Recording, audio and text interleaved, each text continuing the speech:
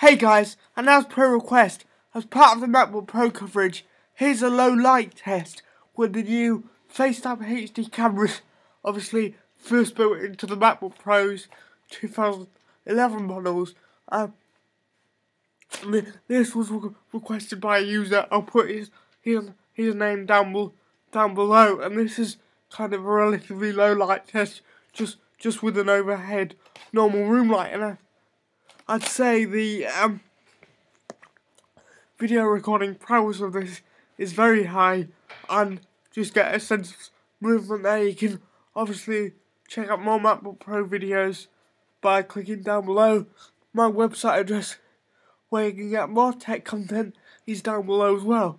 This is only a quick quality test so you don't really need any more detail and I promise myself to keep under a minute. So thanks for watching this video guys and I'll see you next video. Bye bye.